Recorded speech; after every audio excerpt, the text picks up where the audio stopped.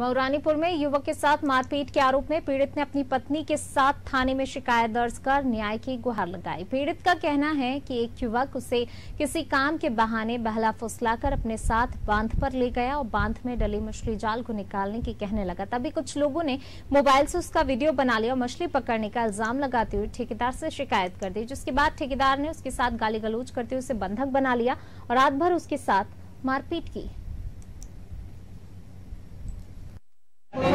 ये समस्या हो गई कि हम लोग खेत में थे।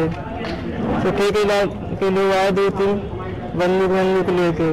फिर उन लोगों ने हमको पकड़ लिया। बोले, ये जाल खींच लो।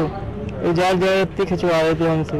वो वीडियो बना के और हम लोगों को लिया वाले आए वहाँ पर टेंट पे।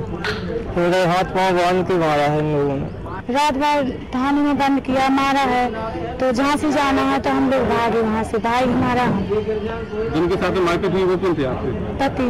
पति है आपके।